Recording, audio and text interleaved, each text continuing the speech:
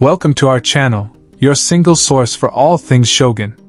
Today, we have an exciting update in store for fans as we delve into Season 1's 7th episode. A Stick of Time. Get ready for unpredictable negotiations, shifting alliances, and the enthralling Shin universe in this epic TV series. In this episode, Toranaga finds himself outmaneuvered by new alliances forming in Osaka. As the power dynamics shift, he must navigate treacherous waters and carve out a new path forward. Facing mounting stakes, Toranaga is forced to make a deal with a long-lost relative. Will he be able to reconcile with this family member and emerge victorious?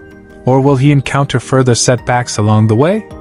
Shogun, Season 1, Episode 7 A Stick of Time premieres exclusively on FX on April 2nd, 2024. Thank you for joining us for today's video.